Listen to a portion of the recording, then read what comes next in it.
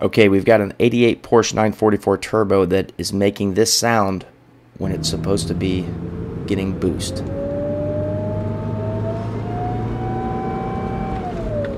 So if you notice, you're not getting any boost here at all. You're hearing this howl.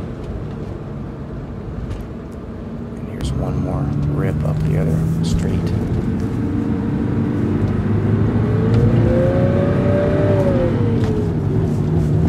Again, no boost.